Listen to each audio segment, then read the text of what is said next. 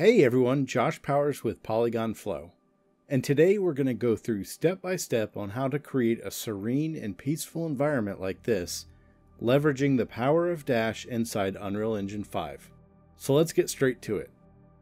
With an environment like this, I want to utilize the power of high dynamic range image based lighting, or HDRI for short. While Unreal comes with a few images to work with, I do recommend checking out Polyhaven, which has hundreds of HDR images to download for free.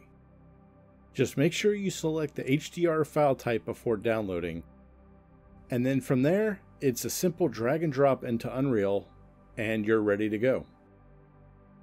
To add an HDRI sky in your scene, you can simply click this button up here, select the light option, and then HDRI backdrop.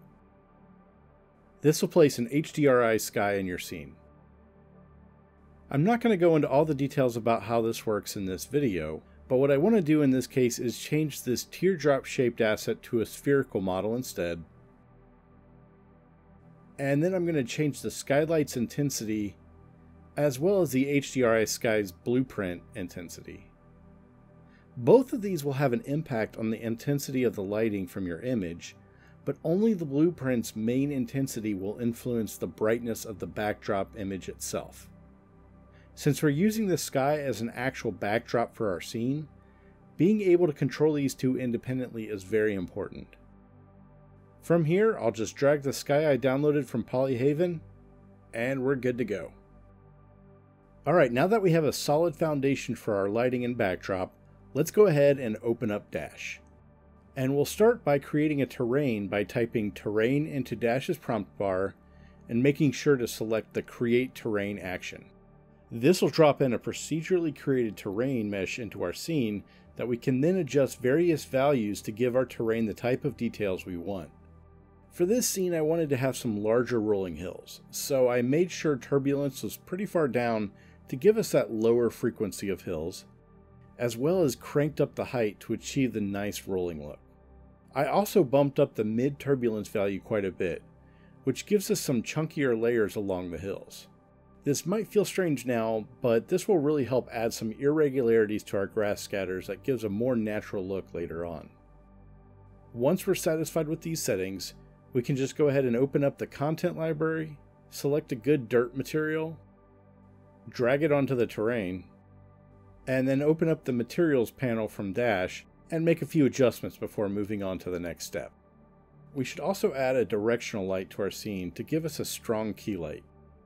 We just want to make sure that the direction matches the sunlight in our skybox, and then we should be all set. For the tree in this scene, I'm simply using the Megascans European Black Alder pack, which you can download for free from the Unreal Marketplace. There are a few types of trees in this pack, primarily field and forest. I'm using the field trees for this scene, but feel free to use whichever works best for your shot. And after a few adjustments to its position on the terrain, I'm ready to frame out the key shot for this scene. And to do this, I'll go up to the prompt bar and type new camera to create a new cinematic camera in my scene. From here, I'll play with the position, focal length, crop settings, and so on to get the look I want for this shot. Every scene will be different because every artist has their own vision of what their shot should look like. So be sure to play around with this and study some photography and films to help strengthen your knowledge in this area. Alright, so now it's time to fill out this terrain with some lush vegetation. To do this, we'll go to our content library and search for grass. I'll grab these grass patches from Megascans because the assets cover a little more real estate than just a small tuft of grass like many other assets. This allows me to get more coverage across the hills with fewer instances being used. The scatter settings for the grass are important. Having a decent sized gap between the min scale and max scale will help break up any incidental repetition you might come across, and this can be further enhanced by using fall off along with breakup to give you a nice gradient and scale near the edges of the scatter.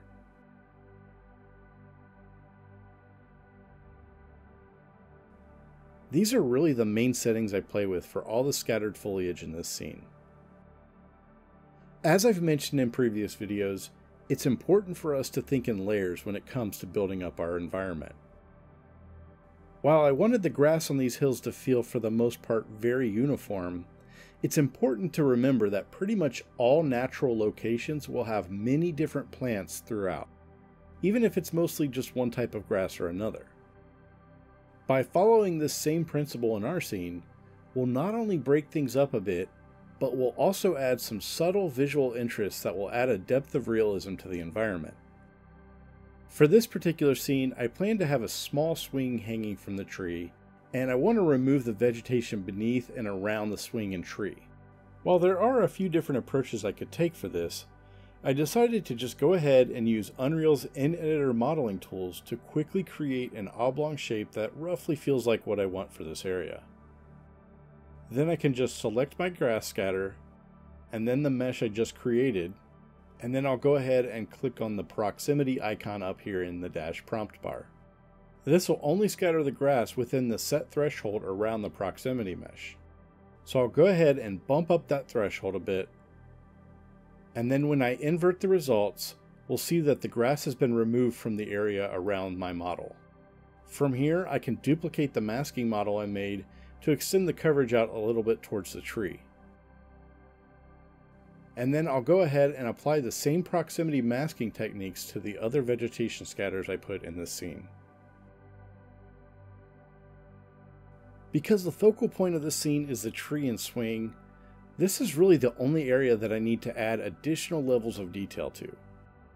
And I do this by adding some Megascans ground assemblies from the content library using Dash's placement tool to quickly move, scale, and rotate them into a position I'm happy with. I'll also add some additional scatters to those newly added meshes, and that'll help add some extra layers of details for these close-up shots I'm planning. For shots like this that are geared more towards a cinematic approach, it's good to really focus our attention on the areas that are closer to the camera, adding up those layers of details while leaving the areas further away from the camera at those broad stroke passes we did earlier. As for the swing, it's a very simple setup. I created two cylinders and a subdivided plank, both of which were UV mapped to Megascan surfaces. I then rigged the asset in Blender using two bones, and then I just animated it to look as if it's gently swaying in a breeze before bringing it into Unreal. Alright, with the swing in place, we're just about wrapped up. From here, it's just a matter of tweaking and polishing, which will range from adjusting the lighting, scatter settings, and various materials in the scene, in order to try and match both our reference images as well as what I envision the final result looking like.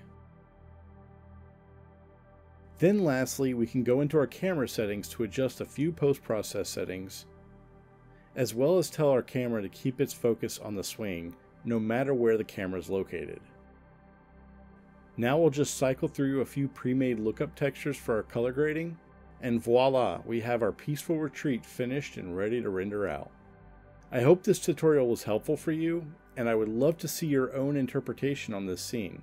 So feel free to join our Discord channel and post your results in the Art Showcase channel where many artists, including people from the Dash team, participate in the conversation to help each other grow. Thank you so much for watching, and I'll see you next time.